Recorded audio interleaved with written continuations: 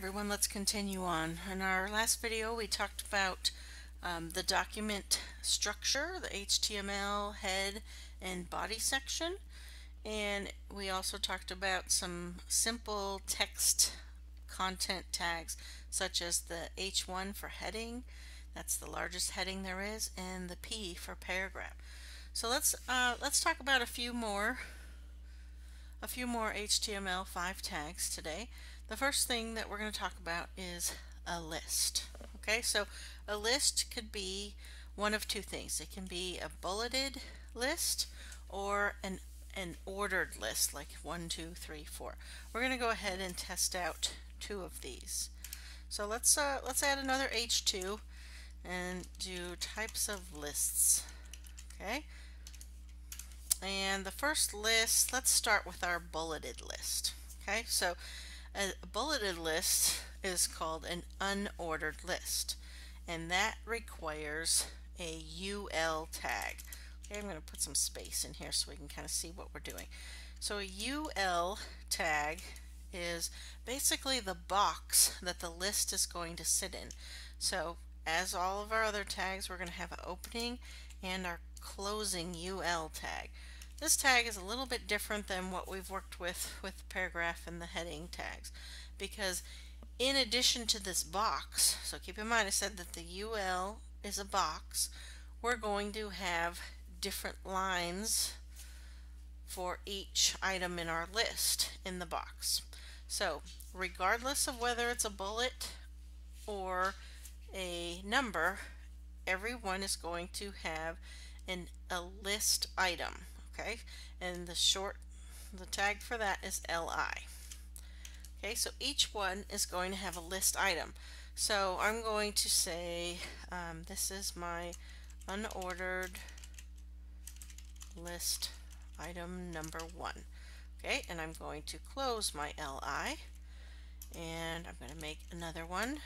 Unordered list item number two. Let's go for three unordered list item number three.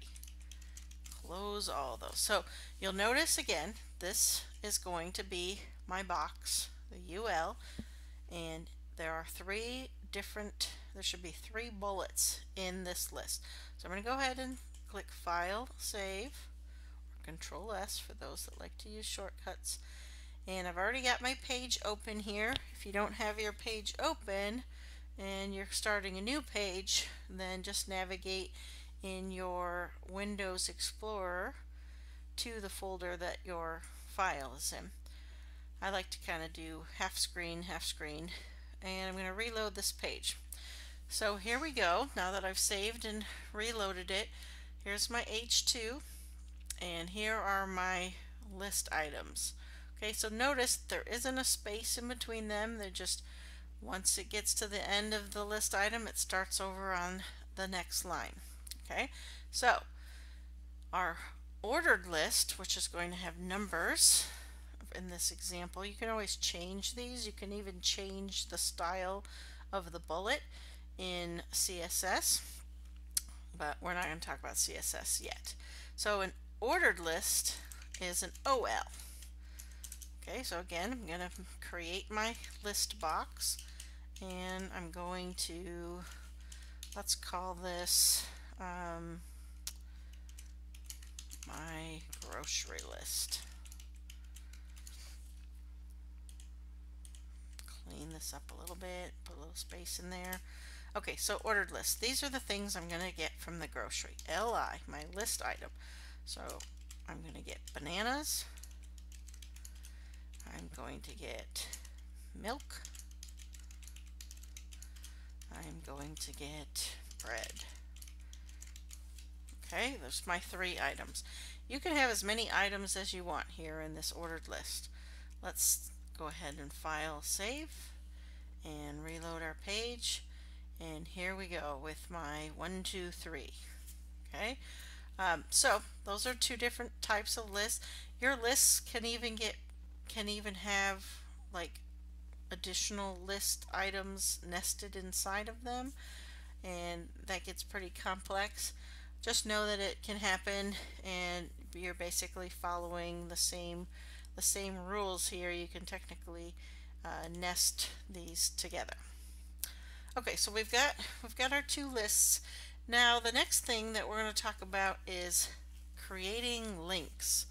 The web is all about linking from site to site, page to page. So why don't we go ahead and incorporate some links to our favorite websites. And let's go ahead and let's go ahead and edit our types of list and change these to my favorite websites. Okay, so I'm just going to put a paragraph. My favorite websites. Okay. So, my first favorite website, most popular website out there, Facebook. Okay, my second favorite website, Google, because I love to search things. And my third favorite website, oh, that's a good question. What do I want to link to? Let's link to a website that a lot of people like to use for reference, W3 Schools. Okay, so we've got our items here. Now if I click File and Save, refresh, all I'm going to have right here are just text. There's no links because I haven't put my link tag in yet. Now, a link tag is generally found as an inline tag, which means that it is generally going to be in some sort of text-based um, structure. So for like navigation, a lot of times it is in a list element. It can also be in your paragraph and it can technically be an image. So they're really, you know, you can add that link tag to anything. Okay, so the first thing that it, a link tag, and it gets a little confusing, is the tag is called an A. And the A stands for anchor. So within my list item, I'm going to create an A tag. Okay, and then I'm going to close my A tag over here. Now remember, it's important to keep these tags in order. So if you have an opening LI and an opening A, you're going to first close the A and close the LI. Now, if I just save this, let's see what happens. Reload my page you'll notice that nothing has happened, right? Why isn't why is it not here? Because I have not specified what this A tag is going to link to. So many tags have attributes and attributes are extra information that is required for the tag to actually work. So the A tag, it's going to be href. Okay, and href stands for the, the reference to the particular URL that you want this to link to. So it's href and then an equal sign and then quotes. Okay, so I just pushed one quote and two of them went in there with my cursor in the middle so that I can just start typing. Now, there are two different ways of linking to things. The first one is using a full URL. So the full URL for Facebook would be http colon slash slash www.facebook.com. Okay, and the, the second way of linking is say you have multiple pages on your website. You don't need to link to the full URL of that web page. You can just link to that file name. So if the, if the page was called contact.html, all you would have to do is put in contact.html in between these quotes because that's considered a local file on your web server. Okay.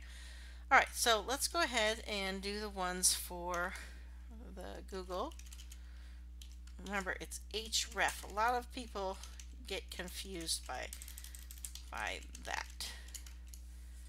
And the good thing about using these types of code editors is it it has a reference in here. So if you weren't sure what it was, if you had a space bar, it lists all of the attributes that are associated with that tag. So you just select, select it that way. And I think it is w3schools.org. Okay, the other thing a lot of people get confused is they forget this little close bracket to the opening tag. Okay, so a lot of people forget this. So make sure that your tags have, even with that attribute in there, it's technically just an A tag. So if you write the A tag and then come back and put the attribute in there, then it gets a little easier. And your attribute values are always going to be between quotation marks. So let's see if this works. We're going to go ahead and save, reload the page.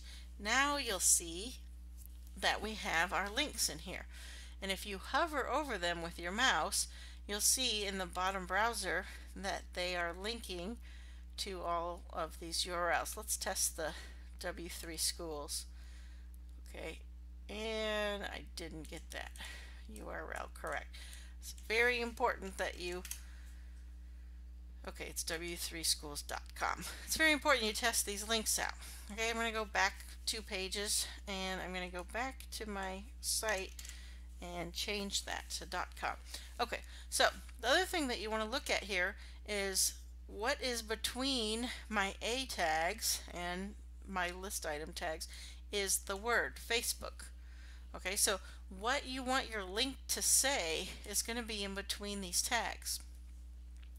Therefore, try and make that link something meaningful. So instead of just saying click here or here or something like that, actually put the link around a meaningful descriptor. Okay, what we try and do with building websites is we try to make our information organized in a meaningful way. Okay, so this makes sense. I don't have to put on here facebook.com, okay, because people generally already know and it doesn't matter because you're going to be clicking here to go to the link. Now, one other thing that might be important, especially when you're linking to different websites, is you might not want them, because you notice when I click on this page that it comes up in the same browser tab and basically you're sending them off of your website. And we don't ever want to send our site visitors off of our website, right? So there's another attribute, and let's push space, and you'll see something that says target. So I'm going to select target, and the very first one is an underscore blank. And what that is going to tell it is open this up in a new tab.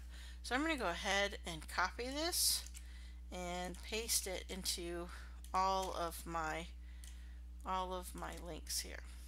I'll save that. I'll refresh my page and now let's see what happens when I click Google. Now it comes up in a separate tab and my page is still here. So it's a good habit to do this for sites that are that you're linking that aren't on your original site. If you were linking to a page on your own site through navigation or something, you would not want to use target equals blank. That will get annoying very quickly and it will send your site visitors away. Okay, so you only want to do this if you're if you're referencing like a resource or something like that to keep your page up in a, in a separate window. Okay, that is what we're going to talk about today.